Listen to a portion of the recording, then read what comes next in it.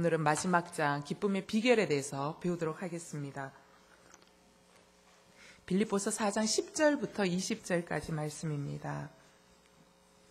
빌립보서 4장 10절부터 20절까지 한 절씩 교독하겠습니다. 빌립보서 4장 10절부터 20절까지 말씀입니다.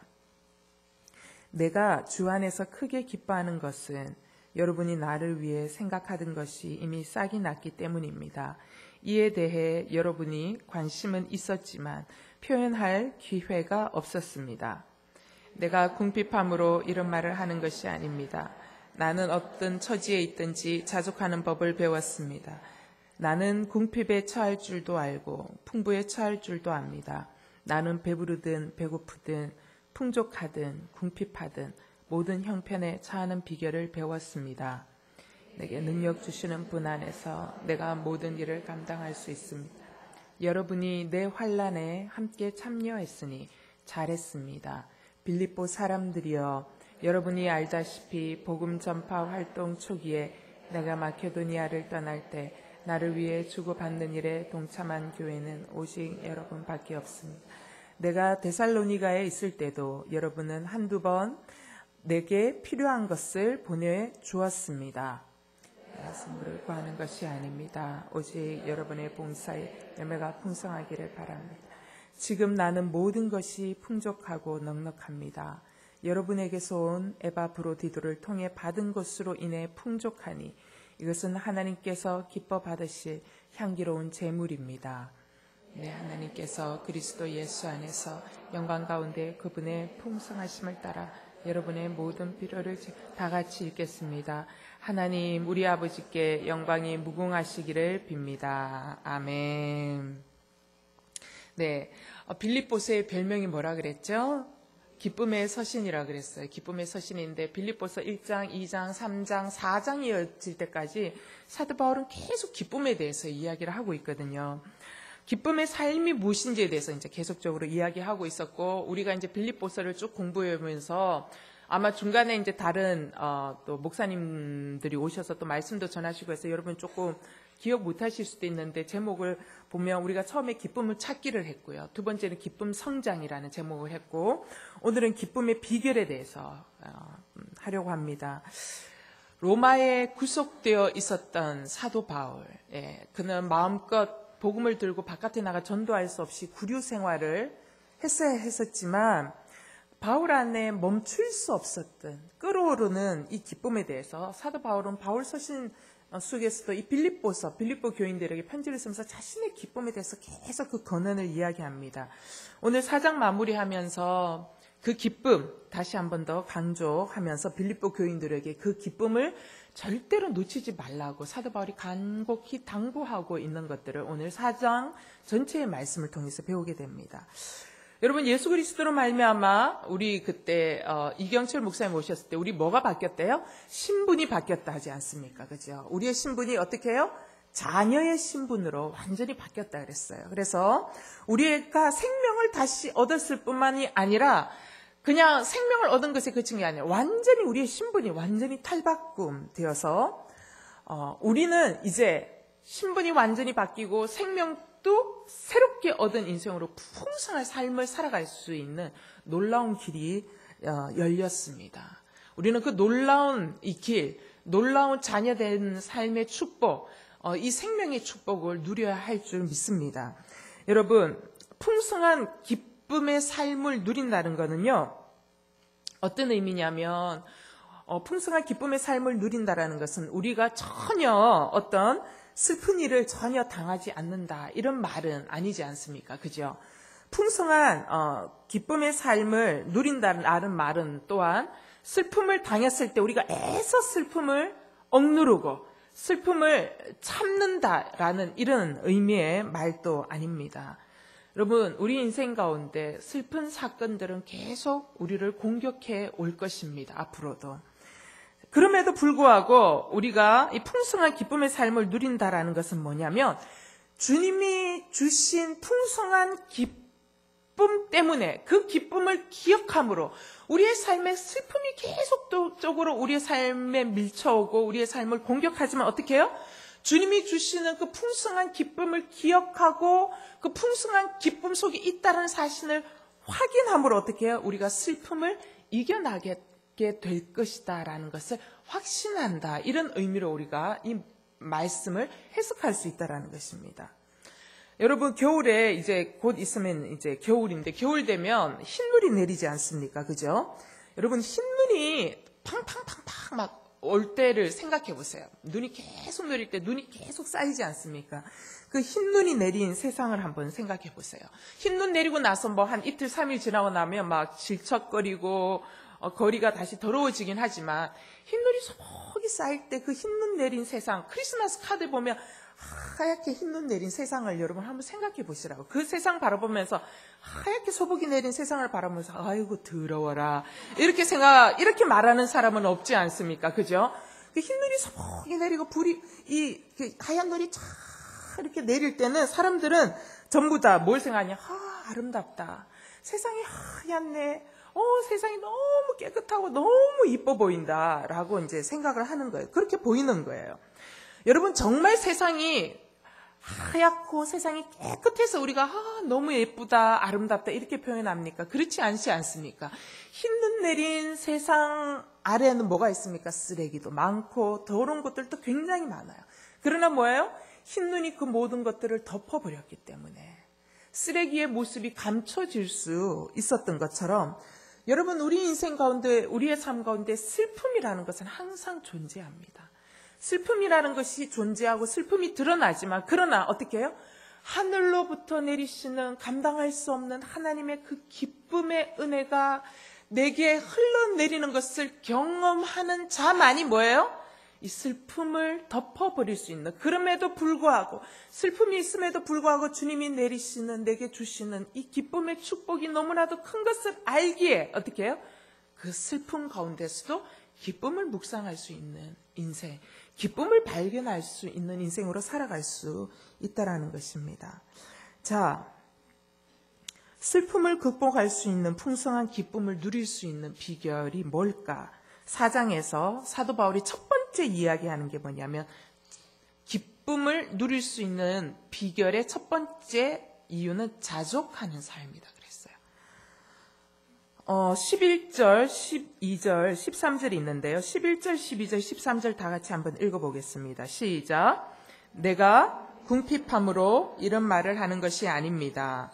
나는 어떤 처지에 있든지 자족하는 법을 배웠습니다. 나는 궁핍에 처할 줄도 알고 풍부에 처할 줄도 압니다.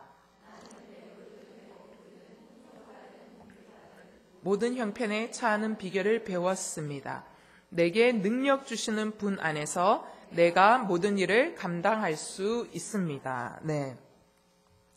여기 보니까 어, 자족하는 삶, 자족하는 삶이 무엇인지에 대해서 설명하는데 첫 번째, 어, 바울은 저절로 자족하게 되었다라고 표현되어 있습니까? 어떻게 되어 있습니까? 11절 보십시오. 어떻게 되어 있어요? 배웠다라고 되어 있죠. 여러분, 자족은 어떤 마음의 결단으로 절대로 생기지 않습니다. 아세요? 우리는 착각해요. 자족은 내가 결정하고 결단하면 자족할 수 있다라고 생각하는데 여러분 그렇지 않습니다. 자족은요 배우는 겁니다. 사도 바울은요 자족을 배웠다라고 표현하고 있어요. 여러분 자족은 어떻게 배우는 거냐면 자족은요 반복된 경험과 학습을 통하여 배워지는 거예요.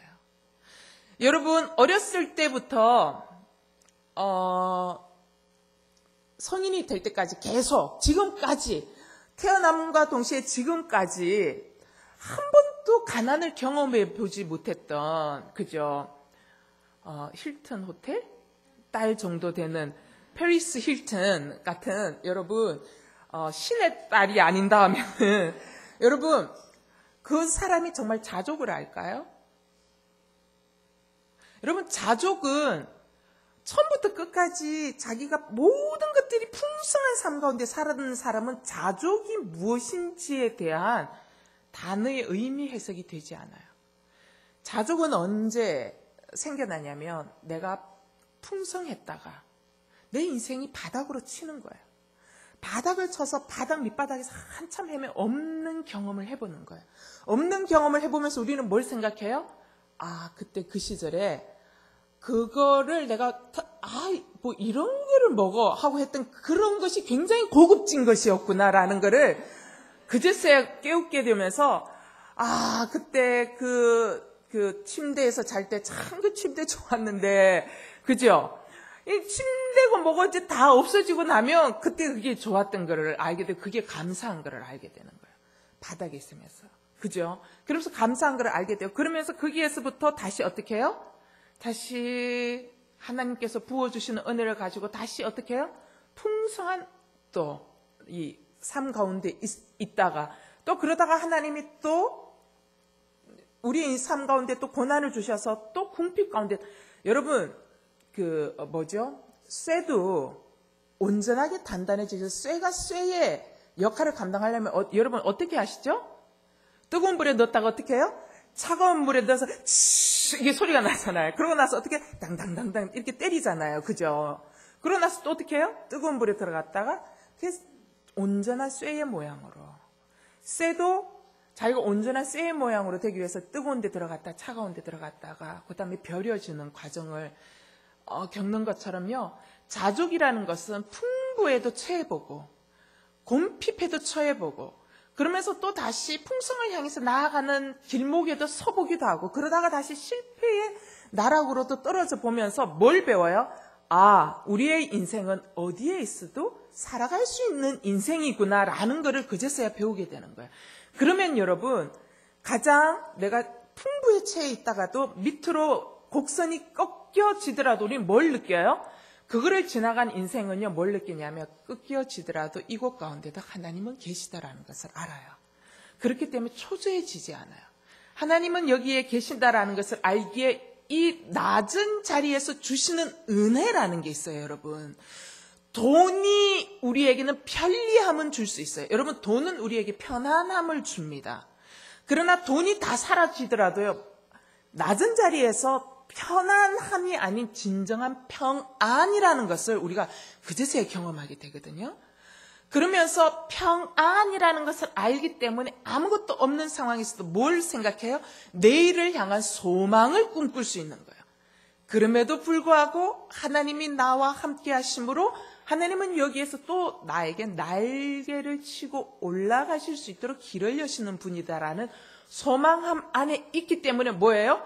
낮은 자리에서도 평안함을 누리면서 그 안에서 자족하는 삶을 깨닫게 돼. 여러분, 이거는 이 곡선을 타면서 경험을 통해, 반복된 경험을 통해서 하나님을 향한 신뢰가 쌓이고, 거기에서 나오는 학습 속에서 자족이라는 것이 생긴다는 거예요. 사도 바울이 이걸 배웠다라는 거예요. 여러분, 사도 바울은요, 로마 시민권자예요. 그죠? 어, 이 로마 시민권자라는 것은 뭡니까? 그의 부모가 그래도 있는 가정이라는 것을 우리가 추론해 볼 수 있겠죠? 그리고 그가 예루살렘에 유학 옵니다. 가말리엘의 문화생이 된다라는 것은 그 부모가 뭐가 있다라는 거예요? 경제적인 여유가 있다라는 거예요. 그는 그러한 삶을 살았지만 예수 그리스도를 위해서 모든 것들을 버리면서 뭘 경험해요? 철저한 가난을 경험합니다. 그러면서도 어떻게 해요?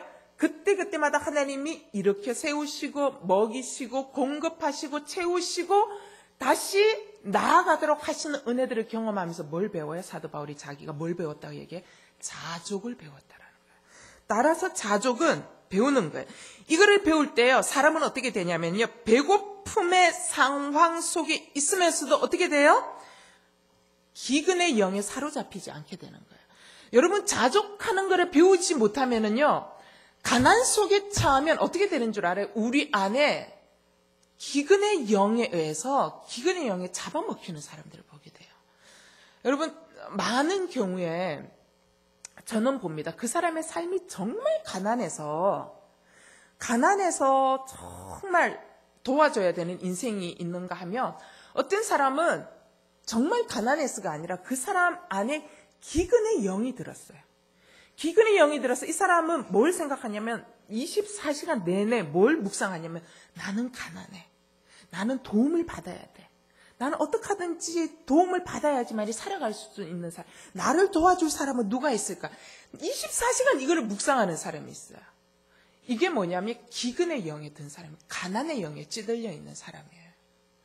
여러분, 우리가 이 자족하는 법을 배우지 못하면은요, 가난해지면 기근의 영에 찌들리게 되고요, 있는 자리에 올라가면 교만의 영에 찌들리게 돼요. 그래서 자족하는 것들을 우리가 배워야 된다는 사도 바울이 자신을 자족하는 법을 배웠다라는 것입니다. 그러면서 13절에 보면 내게 능력 주시는 분 안에서 내가 모든 일을 감당할 수 있다라고 이야기를 해요. 여러분 이 말씀은요. 뭐예요? 내 가난이 하나님의 능력으로 말미암아 당장 부여함으로 바꾸어질 수 있다. 이런 말입니까? 이런 말이 아니라는 겁니다.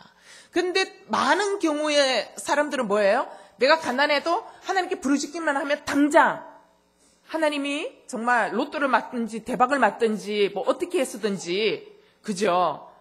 어, 나를 부유하게 만들어 주실 수 있다라고 생각하는 경우들도 있다라는 것입니다. 여러분, 자, 하나님이 내 가난을 하나님의 능력으로 부유함으로 바꾸어 주시, 당장 바꾸어 수도 있다라고 생각하는 사람은 12절 말씀을 주의해서 기울여 있지 않기 때문에 뭐예요? 궁핍에 처하고 풍부에 처할 줄도 압니다. 나는 배부르든지 고프든지 풍족하든 궁핍하든 모든 형편에 처하는 비결을 배웠다. 자족하는 비법을 배운 사람만이 어떻게 해요? 능력 주시는 그분 안에서 모든 것들을 감당할 수 있는 거예요. 여러분 자족하는 비법을 배우지 않으면 하나님이 능력을 주셔도 아무 일도 감당을 못해요. 맞습니까? 여러분 자족하는 능력을 배우지 못하면은요 가난 자기가 하나님이 이미 능력을 부어 주셨어요. 먹고 살 수 있는 능력을 부어 주셨는데 뭘 보냐면 나는 너무 가난해. 너무 너무 가난해서 나는 남의 도움을 받아야 돼. 저 사람이 나를 도와줄 수 있을까? 이 사람이 나를 도와줄 수 있을까? 나는 도움을 받아야 되는데 생각하면서 자기 능력을 발견을 못해요. 하나님은 자기 능력을 보게 하시고 아 이 능력에 하나님의 기름 부으셨구나. 하나님 이 능력을 사용할 수 있도록 도와주시옵소서라고 기도할 때에 그런데 가난의 영이 찌들리면요 기도하지도 못해요 여러분. 기도하면서 무슨 생각을 하는 줄 알아요? 아 하나님 능력 부으셔서 내가 힘있게 나아가야지 라는 것이 아니라 그냥 앉아서 하나님 그냥 갖다 주세요. 갖다 주세요만 하고 있는 거예요.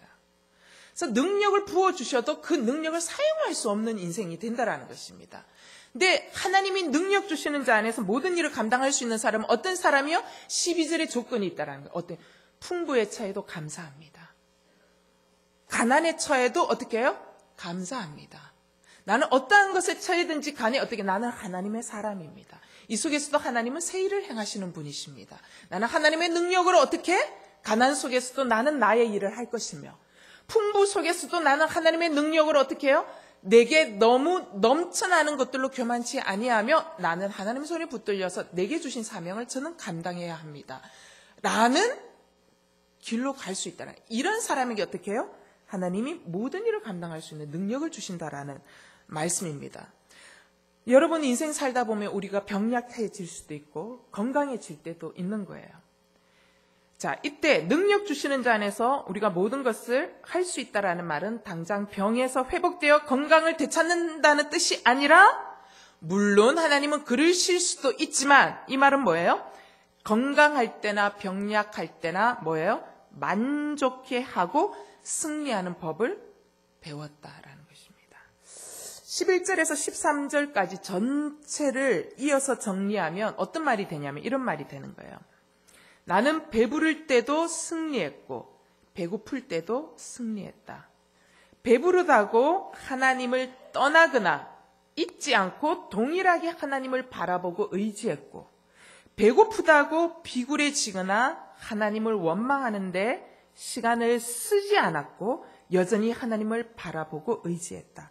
그래서 언제나 내 안에는 평온함과 기쁨이 있었다. 주님이 그렇게 살 수 있도록 도와주셨다.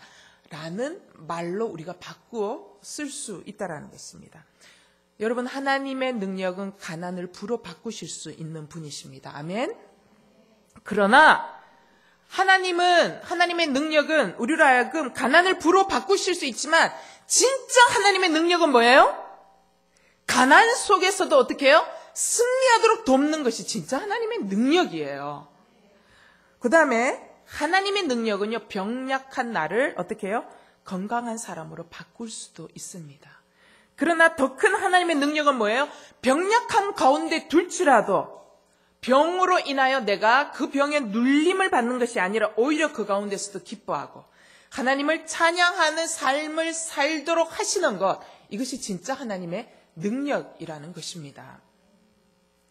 자, 이것이 자족의 삶이에요. 따라서 자족할 수 있는 삶이 기쁨을 누릴 수 있는 비결이라 그랬잖아요. 그럼 자족하는 삶을 첫 번째 뭐라고 그랬어요? 제가 배워야 된다 그랬잖아요. 두 번째 자족하는 삶을 살아가기 위한 두 번째 비법이 뭐냐면 21절에 나와 있어요. 21절.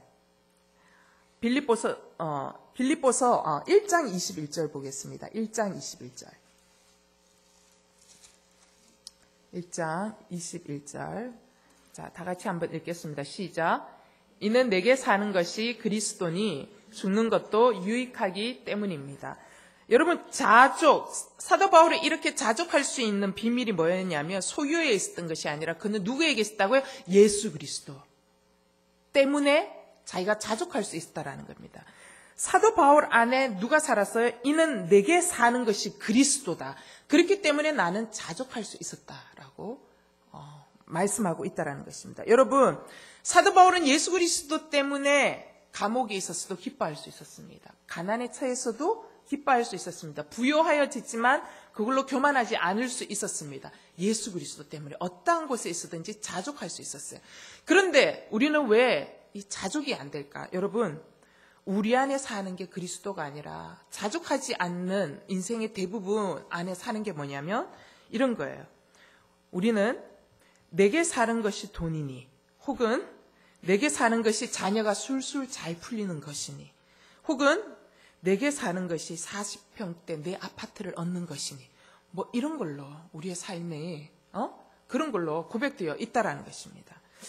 여러분 오늘날 우리가 기쁨을 순간적으로 놓쳐버리는 이유가 여기에 있는 거예요. 예수가 아닌 다른 것으로 살려고 할 때 우리가 기쁨을 놓치는 거예요. 예수가 아닌 다른 것 뭐예요? 아파트, 내 아파트, 내 자녀가 술술 풀리는 것. 그 다음에 어떤 거예요? 내게 돈이 많이 부어지는 것. 이런 것들로 살려고 할 때 우리 안에 기쁨이 어, 놓쳐진다라는 겁니다. 여러분, 왜냐하면 이러한 것들은 언제든지 어떻게 해요? 왔다가 사라질 수 있는 거예요. 왔다가 사라지면 어떻게 돼요? 우리 안에 어떻게 돼요? 기쁨이 어떻게 돼요? 사라져 버리는 거예요. 이런 것들이 돈, 자녀, 그 다음에 뭐, 내 집, 내 차, 이런 것들이 없으면 우리 안에 슬퍼지고, 우울해지고, 심지어는 우리의 자신의 인생을 저주하는 나는 날마다 고생하는, 어? 팔짱가 보다 하면서 맨날 어, 그러는 인생이 되는 거예요. 자, 바울에게 가장 소중한 분이 예수 그리스도셨다라는 것입니다. 그렇기 때문에 어떠한 상황 속에서도 기뻐할 수 있었다. 왜? 예수 그리스도 그분은 상황과 상관없이 내 인생과 늘 함께 가시는 분이시기에 그는 예수 그리스도를 생각하면 모든 것을 가진 것 같은 거예요. 예수 그리스도 그 안에는 뭐가 있어요? 능력이 있어요. 예수 그리스도 그 안에는 지혜가 있어요. 예수 그리스도 그 안에는 은혜가 있어요. 예수 그리스도 그 안에는 내 자아를 못 박을 수 있는 힘이 있어요. 예수 그리스도 그 안에는 그분에게 무엇을 구하든지 주님께서 때를 따라 시를 따라 돕는 은혜로 부어주시는 은혜가 있기에 사도 바울이 보배 대신 예수 그리스도 그를 붙들었을 때 그는 부족함이 없었다라고 고백하고 있다라는 것입니다. 자족의 비법은 내 안에 그리스도가 살고 계심을 끊임없이 끊임없이 어, 되뇌이고 기억하고 묵상하는 것에서 시작된다라는 것입니다. 여러분 기쁨이 상실될 때, 여러분 마음 안에 근심이 막 몰려올 때, 여러분의 자녀를 보면 심히 근심스럽잖아요. 그죠? 여러분의 남편을 보면 심히 근심스럽잖아요. 그죠? 어, 여러분의 상황을 보면 심히 근심스럽잖아요. 그죠? 근데 우리가 어, 남편, 자녀, 우리의 상황을 보면 우리 안에 답이 없어요. 그럴 때 여러분 그 상황 앞으로 뭐를 갖고 오셔야 되냐면 예수 그리스도의 십자가를 가져오셔야 돼요. 십자가를 가져오시고 나를 구속한 예수 그리스도, 나에게 생명을 주셨던 예수 그리스도, 그분이 앞으로 나에게도 영원한 생명을 주시리라고 약속하셨던 분이신데 오늘 내가 살아가야 할 길들을 여시지 않겠냐라는 것입니다. 예수 그리스도를 묵상할 때에 잃어버렸던 소망이 생기고 잃어버렸던 기쁨이 회복될 줄 믿습니다. 따라서 여러분 예수 그리스도를 붙드십시오. 두 번째 어, 이 기쁨의 비법으로 살아갈 수 있는 기쁨의 비결이 뭐냐면 어, 나눔의 삶이라는 것입니다. 나눔의 삶. 어, 14절, 15절, 어, 16절 다 같이 한번 읽어볼까요? 시, 어, 4장 14절, 15절, 16절입니다. 시작.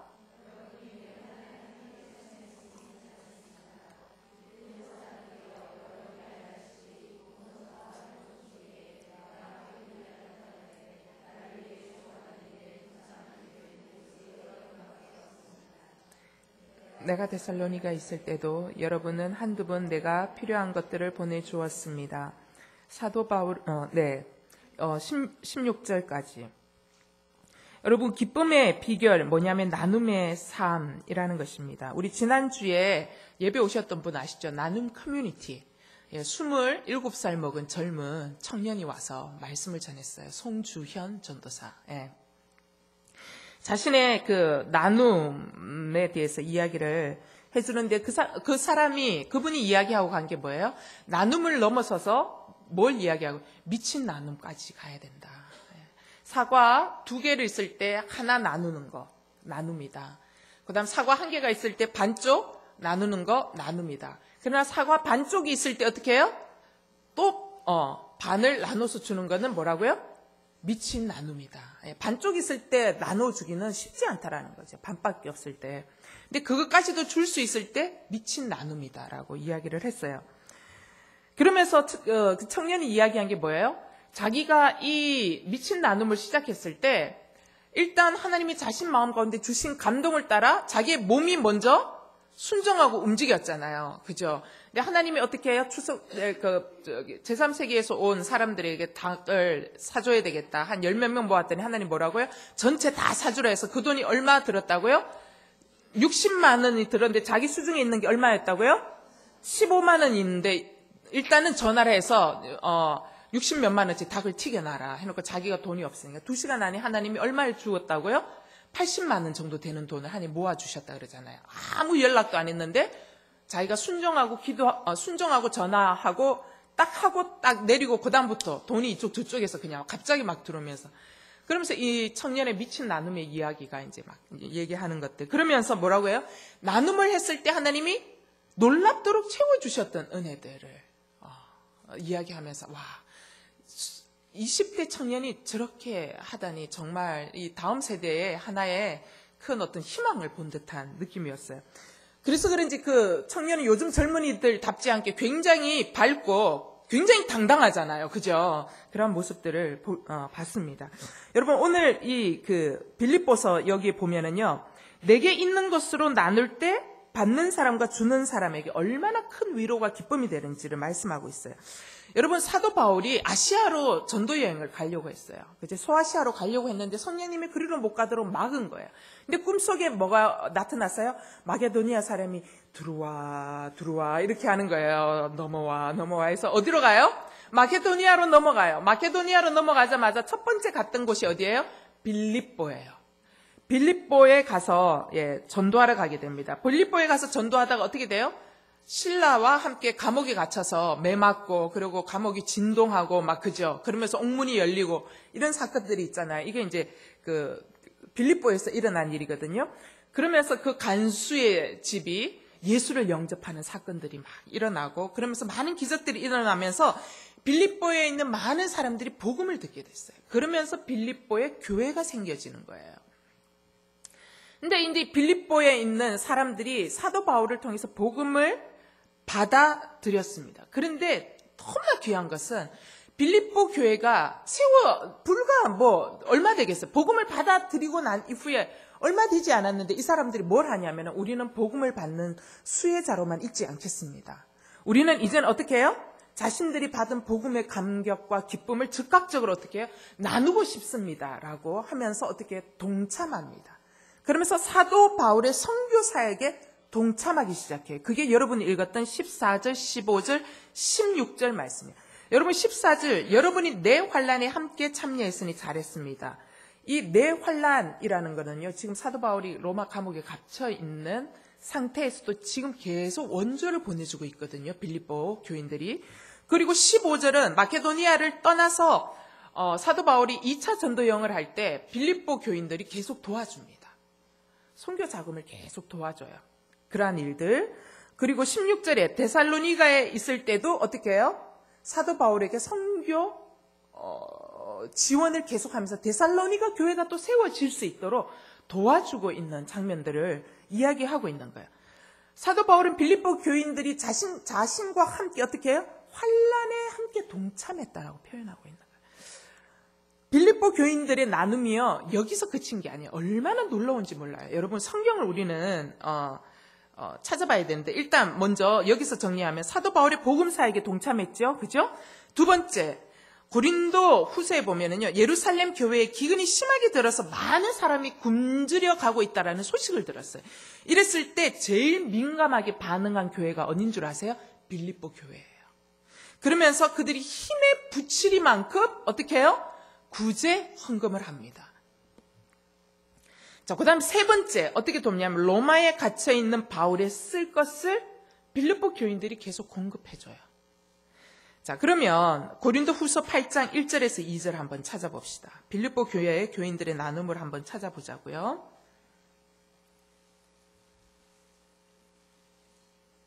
고린도 후서 8장 1절에서 2절.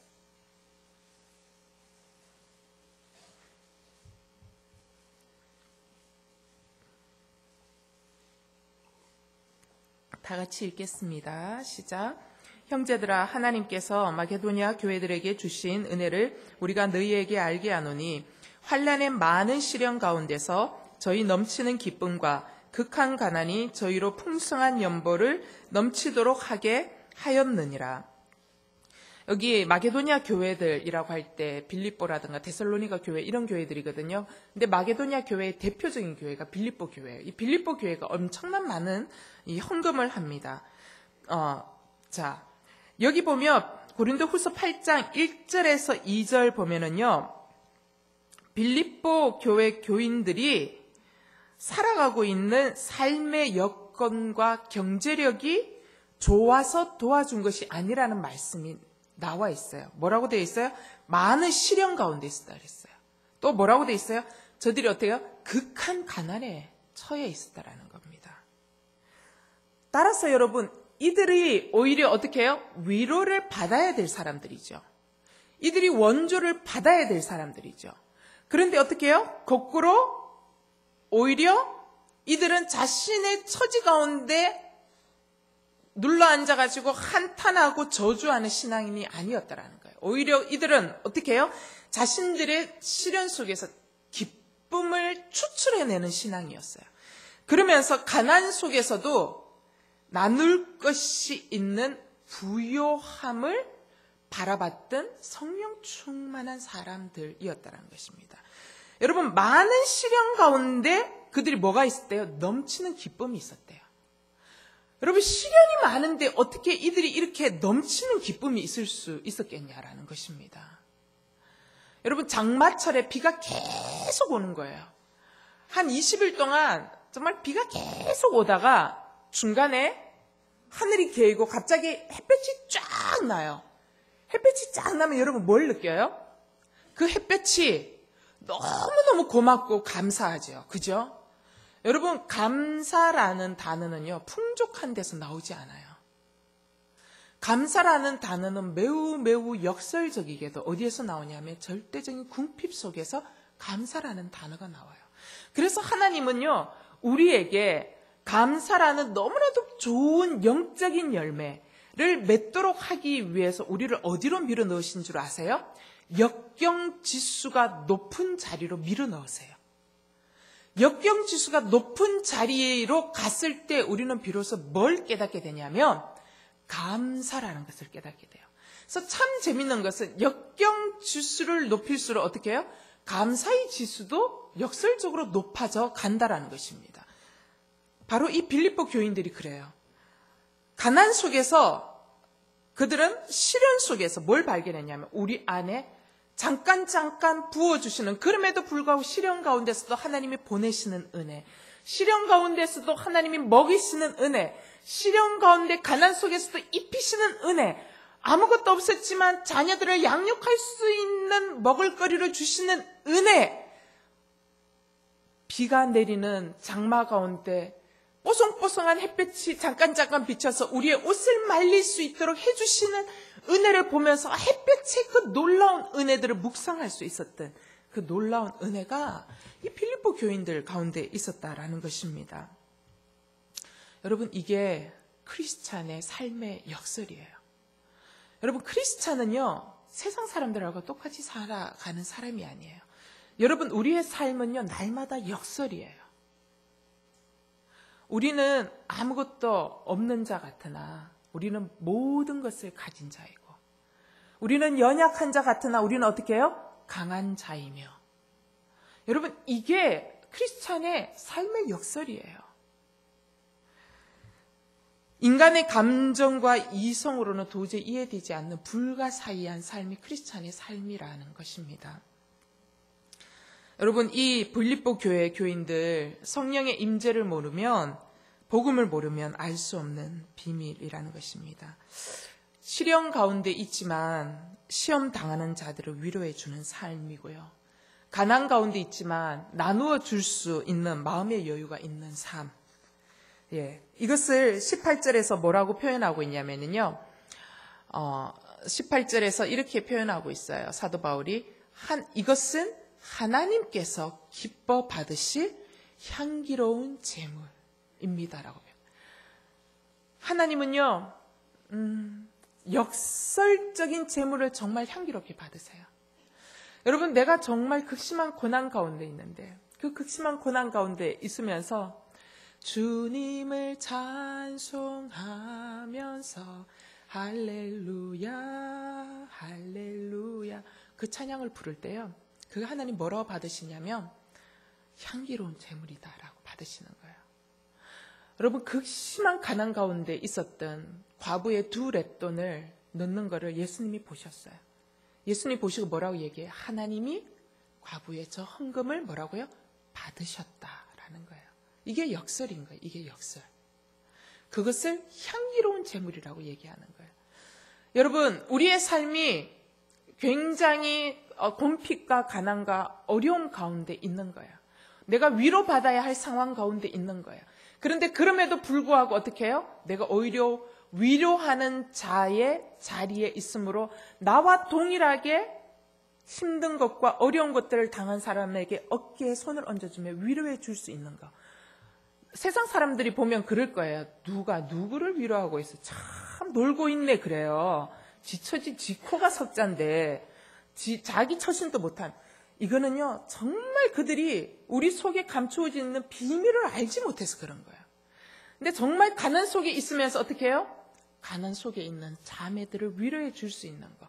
그렇게 위로할 때 하나님 뭐라고요? 그것을 향기로운 재물이다 라고 표현하고 있는 거예요. 이게 하나님께서 기억하시는 재물이라는 것입니다. 여러분, 하나님 앞에 화려한 거 드렸다고 하나님 감동받으실까요? 절대로 그렇지 않다라는 거예요. 하나님은 우리의 역설을 기뻐 받으신다라는 사실입니다. 여러분, 진짜 재산이 뭔 줄 아세요? 내가 움켜쥐고 있는 소유 아니에요. 진짜 재산은 나누어 준 것이 진짜 재산이고, 진짜 재산은 뭐예요? 사랑한 기억들이 진짜 재산이라는 것입니다. 사람들은 얘기해요. 목사님, 저는 진짜 아무리 쥐어짜도 쥐어짜도 도저히 나누어 줄 만한 것이 없다라고 이야기를 해요. 근데 여러분 나누어 줄 만한 것이 없다라고 말하지 말라라는 것입니다. 왜냐하면 베풀 수 없을 만큼 가난한 인생은 한 사람도 없습니다. 그리고 도움을 받지 않을 만큼 완벽하게 풍성한 인생도 하나도 없다라는 것입니다. 우리 모두는 어떻게 해요? 나누어 줄 수 있는 인생이고 우리 모두는 도움을 받아 마땅한 인생이라는 것입니다. 그래서 인생은요, 주기도 하고 받기도 할 수 있어야 한다라는 것이죠. 여러분, 나에게 있는 작은 것이라도 나눌 때, 그 작은, 나는 작은 것을 나눴지만 받는 사람은요, 나눔을 받는 사람은 평생 잊지 못하는 기억이 되는 거예요. 지난 시간에 그 송주현 전사님이 그런 얘기 하잖아요. 자기가 고등학교 때 자기 삼선 슬리퍼 말하자면 아이들 말로는 삼디다스라 그러거든요. 여러분 아디다스 줄이 세 개이잖아요. 그래서 애들이 그 삼선 슬리퍼가 세 개는 거를 삼디다스라 그러거든요. 그 삼디다스 슬리퍼 자기 280 그거를 누가 훔쳐가 가지고 그거는 문방구에서도 살 수 없는 마트에 가서 살 수 있는 희귀 아이템인데 자기가 이제 마트에 가서 사는데 자기 고등학교 때 있던 친구 중에 한 명이 어떻게 해요? 슬리퍼 살 돈도 없어서 어떻게 해요? 그냥 맨발로 맨발로 그 화장실 있는 물 위를 걸어 자기가 예수도 아닌데 물 위를 걸어 다닌다 그러잖아요. 물 위로 걸어 다니는 친구가 생각났다잖아요. 그래서 단지 자신은 자기 슬리퍼를 살 때 그 친구가 생각나서 3천 원을 더 들여서 친구 슬리퍼를 사서 그 친구에게 줬는데 뭐예요? 슬리퍼가 너무 필요했던 친구잖아요. 누가 무리를 걷고 싶어서 그랬겠습니까? 그죠? 어쩔 수 없어서 무리를 걷는 거 아니겠습니까? 그런데 그렇게 줬을 때 어떻게 해요? 그 친구가 졸업할 때까지 그 고마움을 잊지 아니하고 어떻게 해요? 지금까지도 서로 연결하는 동력 관계라고 하지 않습니까? 그런 거예요. 어, 정말 그 누군가의 필요를 자세히 보고 그 사람의 필요를 작은 것이지만 채워줬을 때 그에게는 너무나도 큰 예, 감동으로 올 수 있다라는 것입니다. 제가 그 대학교 때, 어, 그, 많이 어렵게 살았잖아요. 그리고 이제, 어, 이제 나중에 이제 신대원 생활을 할 때는 이제 벌이가 없으니까 돈도 없고 책도 사야 되고 막 해야 되니까 아무것도 없잖아요. 어, 이제 신대원 1학년 때는 공부만 해야 되고 이제 전도사님으로 나갈 수도 없고 이제 공부만 하는 그때 시절이었는데 돈도 없어, 책 살 돈도 없어. 책은 도서관에서 대출해서 보면 공부하면 돼요. 도서관에서 대출해서 대출하고 그날 반납하고 그 다음날 또 대출해서 보면 되거든요. 다만 이제 내가 대출하니까 다른 사람이 못 보죠. 이제 책은 그렇게 해서 공부를 하면 되는데 중요한 건 이제 먹고 사는 게 문제인 거예요. 그 다음에 또 돈도 이제 교통비도 써야 되고 할 때 그때 이제 제가 기억나는 건 뭐였냐면 제 친구 한 명이 이제 호소할 데가 없으니까 하나님께만 호소하잖아요. 하나님, 제가 이마이마한 돈이 이번 달에는 필요해요라고 이제 하나님께만 이제 호소하고 있는데 제 친구 이제 한 명 중에 늘 기도 생활을 하는 친구가 있었어요. 어, 기도 생활하는 친구인데 이제 우리 이제 장신대 가면 지금은 많이 달라진 기도탑이라고 있어요. 주기철 기도탑이 있어요. 주기철 목사님 기도탑인데 그 기도탑에서 이제 올라가면 이제 올라갔다가 내려가면 걔도 올라갔다 내려가고 이제 서로 이제 자주 마주치는 친구였는데 근데 그 친구 하루는 이제 기도하고 나서 이제 나인데 달려오는데 뭘 하얀색 봉투를 주는 거예요. 그때는 이제 얘가 얘는 이제 대학교를 어, 장로의 신학 대학교를 나오고 기독교 교육학과를 했기 때문에 신대원 1학년 때 이미 이제, 이제 돈도 사러 나가고 있었을 때였어요. 근데 그때는 교회에서 사례비로 봉투에다가 담아 주던 시절이었어요. 돈을 이제 했는데 나, 내게 주는 거예요. 그래서 이게 뭔데 이랬더니 어, 나 사례비 받은 건데 11조 떼고 네게 주는 거야 하면서 하나님이 기도 중에 이 돈을 너에게 줬으면 좋겠다라는 마음을 주셨어 하면서 봉투를 탁 주는 거예요.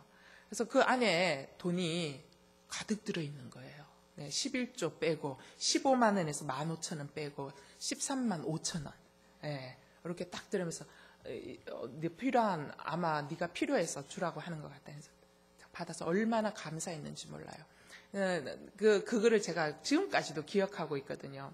어, 그러한 것들. 또 하나는 제가 이제 먹을 게 이제 개 끼니를 이제 계속 해, 결해야 되는데 그때마다 어, 저를 잘 아셨던 목사님이 이제 서울에서 사역하시는 목사님이 수시로 오셔가지고 뭘 해주셨냐면은 제가 이제 그 교회 가서 이제 말씀도 듣고 어, 그 교회에서 교사로 섬겨주기도 하고 이제 이랬는데 그분이 수시로 오셔서 배고플 때마다 불고기 사주고 배고플 때마다 삼겹살 사주고 그리고는 장신대 오시면 조용히 와서 주머니에다 머리를 이렇게 찔러 넣고 가세요. 찔러 넣고 가고 이제 주머니에 빼보면 돈을 이렇게 찔러 주시고 가세요. 필요한 거 쓰라고. 근데 제가 어, 무슨 생각이 나냐면 목사님이 설교를 굉장히 제 목사님 설교를 많이 들었고요. 한 개도 기억이 안 나요. 목사님 무슨 설교를 했는지 한 개도 기억이 안 나는데 제가 기억나는 걸 목사님이 내 주머니에 돈을 찔러줬다라는 사, 실과 그리고 목사님이 수시로 나에게 불고기를 사줬다라는 거, 그리고 데리고 가서 삼겹살을 사줬다라는 건 이거는 지나놓고 난 지금 20몇 년이 지났는데도 아직까지 기억을 하고 있는 거예요. 그게 너무 고마워서, 그게 너무 감사해서. 여러분 그는 거예요. 정말 이 그 도움이 필요한 절실한 사람이 그 찔러주는 그 작은 돈 하나가 그렇게 감사하고 그게 뭐로 느껴지냐면 아 하나님이 까마귀로 나를 먹여 살려주시는구나. 하나님의 응답이 이런, 이렇게 오는구나. 라는 것을 경험하면서 뭘 배우게 되냐면요. 하나님을 신뢰하는 자는 절대로 절대로 죽지 아니하는구나.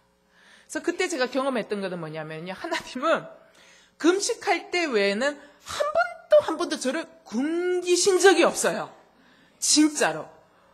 그러면서 정말 하나님이 저를 얼마나 잘 먹이시는지 진짜 그리고 이게 화장품이 떨어질 때쯤 되면 어, 그 여학생 기숙사에 보면 누가 쓰다가 버린 꼼백도 화장 있으면 남은 여분 있잖아요. 옆에 이렇게 해가지고 으스려가지고 이렇게 바를 수도 있고 우리는 그게 공용으로 자기가 안 맞는 옷은 벗어놓고 필요한 사람 가져가서 쓰는 거, 나는 수시로 내가 주워 입었거든요. 다만 길이가 짧아서, 다만 길이가 짧아서 어려운 건 있으면 제가 지금보다 더 말랐었기 때문에 어지간히 키 작은 사람들 옷 다 입어도 허리가 제가 컸거든요. 그 사람들 옷, 내 허리가 하도 가늘어가. 다 이제 주워 입고, 입고 이제 그렇게 살 수 있도록 하느님 제공해 주시는 것들을 경험해 주는 거예요. 여러분, 나누는 삶이 누구에게는 하나님의 응답인 거예요. 누구에게는 하나님이 너를 사랑한다. 너를 책임지신다라는 굉장히 큰 확성기로 들린다라는 것입니다.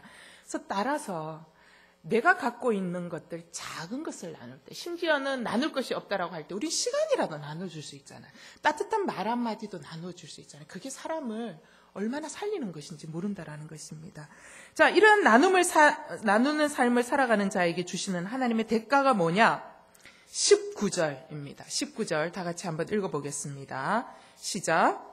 내 하나님께서 그리스도 예수 안에서 영광 가운데 그분의 풍성하심을 따라 여러분의 모든 필요를 채워 주실 것입니다. 아멘. 하나님의 대가가 뭔 줄 알아요? 여러분의 모든 필요를 채워 주신다는 것입니다. 아멘. 여러분 필요가 필요한 사람에게 나누어 줄 때 어떻게 해요? 하나님은 내 필요를 아시고 내게 채워 주시는 여러분 우리가 여기서 헷갈리면 안 돼요. 내 필요를 채워 주신 다음에 하나님이 어, 내가 로또를 긁어서 로또를 당첨 이게 아니에요. 여기는 중요한 게 need 필요. 여러분 필요한 거 있잖아요. 삼시세끼 먹는 거 필요하죠? 여러분 가스비 내는 거 필요하죠? 그죠? 여러분 자녀 등록금 내는 거 필요하죠? 그죠? 여러분 우리에게 꼭 필요한 것들을 채워 주신다라는 것입니다. 내 마음의 중심을 보시는 하나님께서 내가 서 있는 삶의 자리에서 하나님을 사랑하기에 이웃을 가식 없는 마음으로 섬기는 그것을 기억하신다라는 것입니다. 여러분 우리가 섬길 때요 어떻게 해요? 왼손이 하는 것을 오른손이 모르게. 여러분 우리가 섬길 때 반드시 우리의 의도를 하나님 보시거든요. 그죠? 정말로 조용히 모르게 정말 저들을 돕고 싶은 마음으로 섬기는 그것들을 하나님께서 어떻게 해요? 받으신다라는. 내가 드러내고 싶어서 섬기는 거 어떻게 해요? 나는 이미 상을 받은 거예요. 그죠? 그러나 저 사람의 필요를 알아서 조용히 그 사람을 향해서 진짜 저 사람이 잘 되기 원하는 마음으로 섬겨줄 때 하나님 어떻게 해요? 그것을 기억하시고 나의 필요를 채워주시는 이 하나님 안에 있는 이 영적인 선순환, 이게 놀라운 비법이라는 것입니다. 사랑하는 여러분, 나누어 줄 수 없을 만큼 가난한 인생은 한 명도 없다라는 사실입니다. 여러분, 내게 이미 주어진 것들을 나눌 수 있게 되기를 바랍니다. 여러분, 물질이 없다면 축복의 말과 봉사의 손길로 나누어 주십시오. 그리고 시간도 나누어 주세요. 축복합니다. 여러분, 내 자녀는요, 들은 대로 배우는 것이 아니라 뭘 배우는 줄 아세요? 부모님이 하는 대로 배우게 돼요. 여러분이 조용히 섬기면 내 자녀들은 아, 이렇게 하는 건가 보다 하고 이렇게 섬기는 거예요. 그래서 내 자녀들에게 나눔의 비법, 섬김이 주시는 놀라운 축복들을 여러분 삶 가운데 경험하고 보여주고 또 자녀들이 또 함께 그 삶 안으로 초청되어서 또 풍성한 은혜를 경험할 수 있는 저와 여러분이 되기를 바랍니다. 빌립보 교회가 환란과 어려움 속에서도 기쁨을 나누고 위로하고 격려했더니 이들의 영향력이 빌립보 교회를 넘어서서 어디로 뻗어나간 줄 아세요? 마게도니아 전 지역으로 뻗어나갔어요.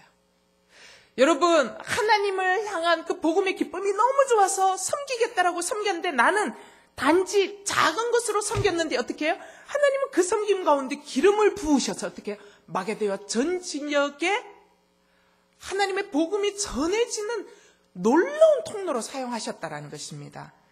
또한 이들의 이 섬김을 통해서 뭘 본받았어요? 마게도니아에 있는 다른 교회들이 동일하게 뭘 배웠어요? 나눔과 섬김의 기쁨을 함께 동참하는 법들을 배웠다라는 것이죠. 여러분, 나의 에너지를 내 자녀에게만 국한하지 맙시다. 나의 에너지를 내 남편에게만 국한하지 맙시다.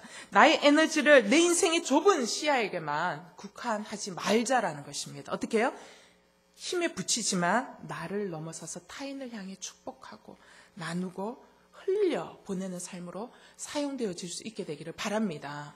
여러분, 우리는 이미, 이미 많은 사람들이 나눔을 실천하고 있다는 것을 저는 알아요. 저는 얼마나 기쁜지 몰라요. 특별히 수원에 왔더니 정말 조용하게 진짜 많이 나누시더라고요.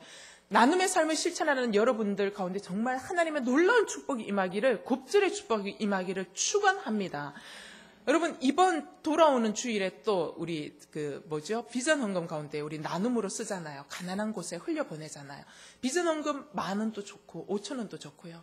그러나 내 안에 있는 몇천 원이라도 나눌 때 하나님은 그곳 가운데 어떻게 해요? 축사하여 떼어 나누어 줄 때 어떻게 해요? 열두 광줄이 넘치는 놀라운 은혜를 부어 주실 줄로 믿습니다. 그래서 우리 모두가 이 함께 빌립보 교회처럼 나누고 성교하는 일에 함께 동참할 수 있는 여러분이 되시기를 바랍니다. 우리 찬양 하나 하고 말씀 붙들고 기도합시다.